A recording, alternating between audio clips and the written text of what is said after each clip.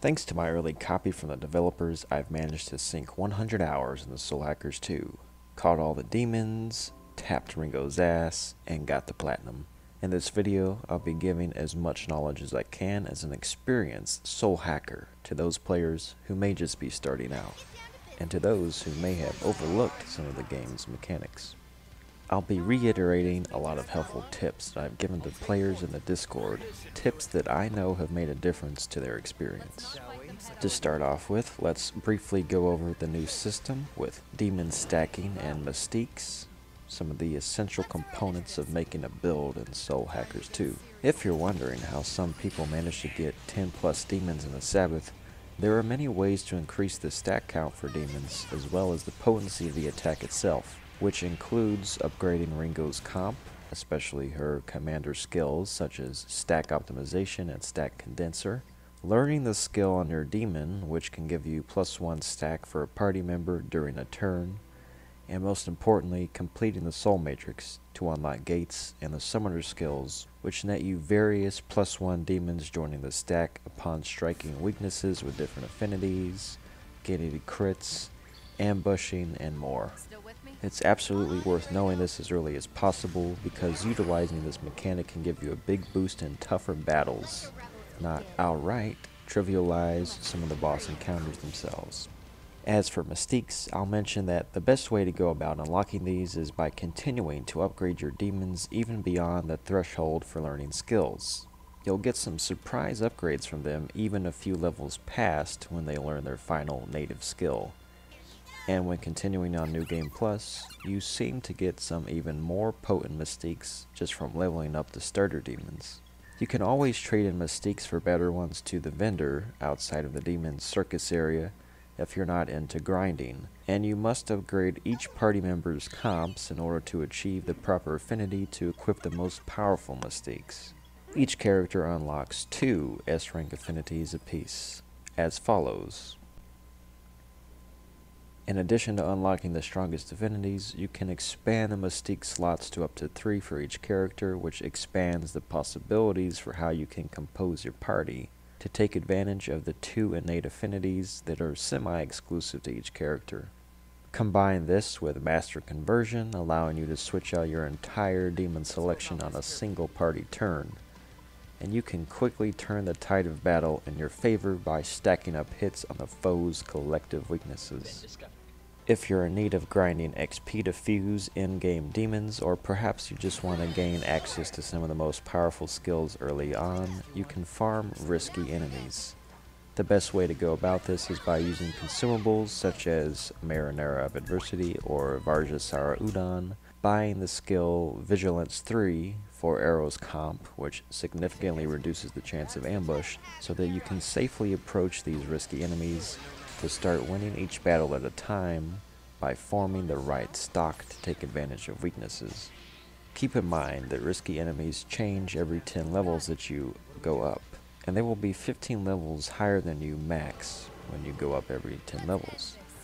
But defeating them will net you double XP to all party members as well as a boatload of cash.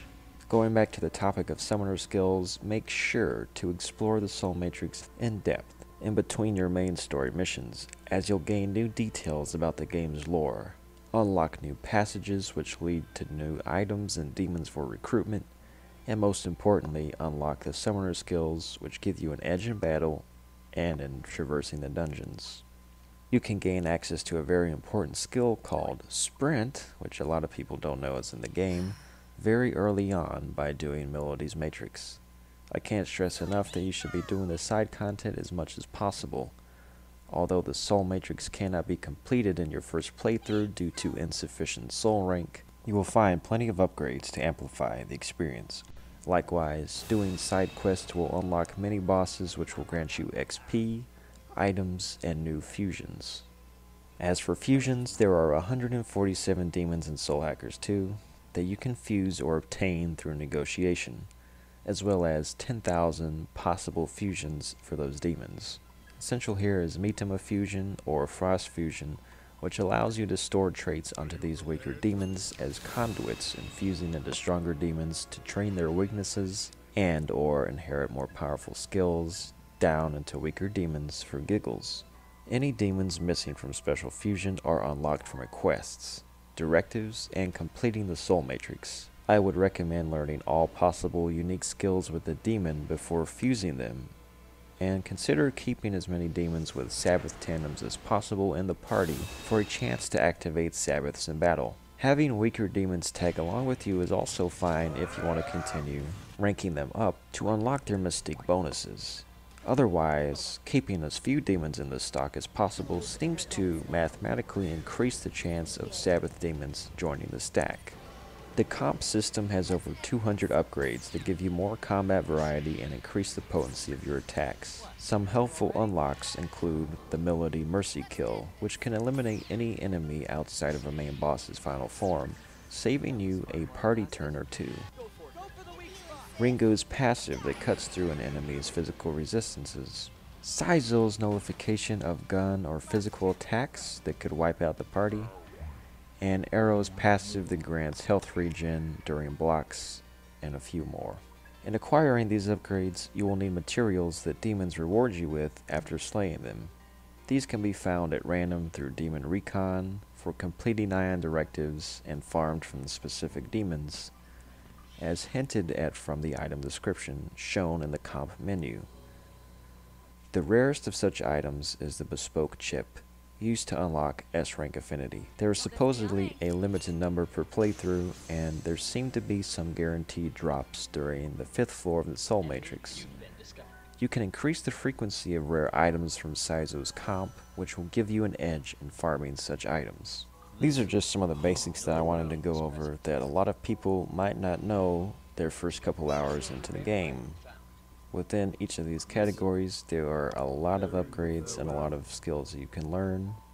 And so just taking your time and exploring the Soul Matrix and doing the side content is pretty much the bulk of what I have to say here. There's not a whole lot of extra stuff you can do in Soul Hackers 2, but the main offering is the combat and you'll want to have as many possible enhancements to that as you can. But I hope that some of these tips were things you didn't know and I hope they help your combat experience go a little smoother.